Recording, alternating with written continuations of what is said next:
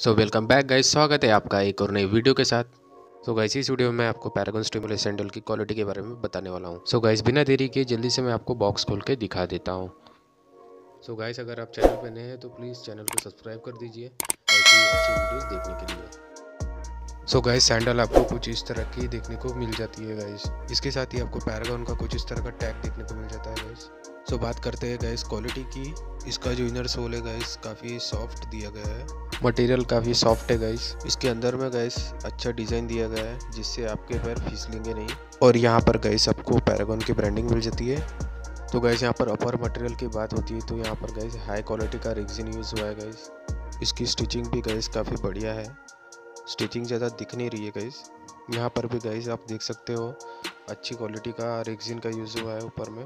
और गाइस आपको सैंडल भी काफ़ी फ्लेक्सिबल मिल जाता है गाइस सो बात करते हैं सोल की तो गाइस इसके साथ हमें देखने को मिल जाता है टीपीआर सोल. इस तरह के सोल गाइस आपको स्पोर्ट्स शूज़ में देखने को मिल जाते हैं, जो 800 हज़ार के रेंज में आते हैं. इसके साथ ही गाइस आपको सैंडल में अच्छी सी ग्रिप देखने को मिल जाती है, जो आपको बचाती है फिसलने से.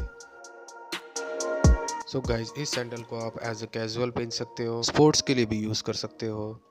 सो so गाइस अब हम सैंडल की प्राइस की बात कर लेते हैं तो मैं आपको दिखा देता हूँ। ये बॉक्स में इसकी प्राइस लिखी हुई है।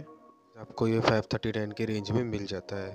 इसके साथ गैस ये आपको दो और नए कलर में मिल जाता है ब्लू और ग्रीन कलर में। सो so गैस आज के लिए बस इतना ही। मिलते हैं नेक्स्ट वीडियो में।